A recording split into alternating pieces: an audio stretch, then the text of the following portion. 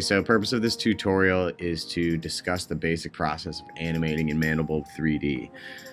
After you've set found uh, formulas and lights that you think go well together, then you're gonna you can pop open this. Here, let's close up everything extra. You can pop open the navigator window, and in here, first thing you want to do is to open up these two panels to the top and bottom. That'll give you a few extra commands. So the basic process that I go through when I'm animating is to save animation keyframes.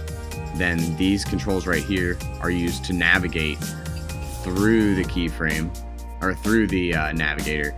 They're change change your camera view. And then these over here change the values of your formulas.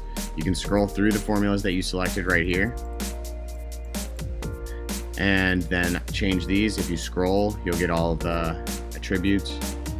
So, you start off, you have something you like, add an animation keyframe either by hitting the F key or by clicking this button.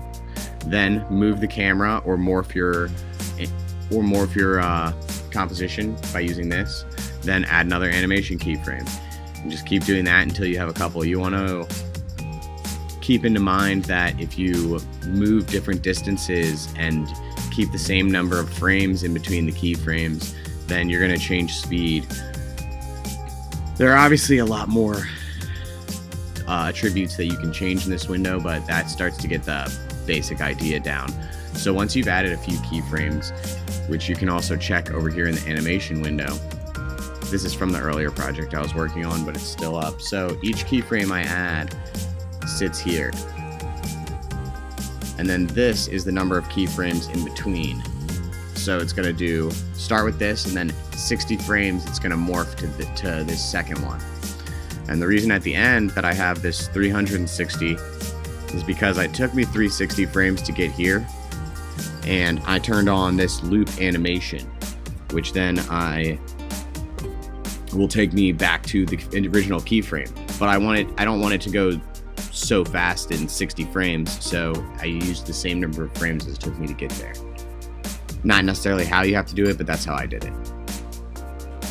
So once you've done that, then you're gonna click on the output folder here, find yourself some sort of, or make yourself an empty folder that'll just hold the keyframes. A lot of the sequencing programs need it, need them to be that by themselves. Click open, and then click make sure this says one to last and click start rendering animation images.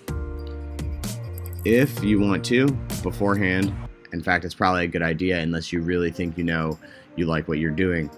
You can use this preview section to create a smaller lower quality preview video of what the final renders will look like in uh, just a fraction of the time. This claims it can do it in about a minute and eight seconds for my 720 frames, but in reality, it always ends up taking a little longer than that.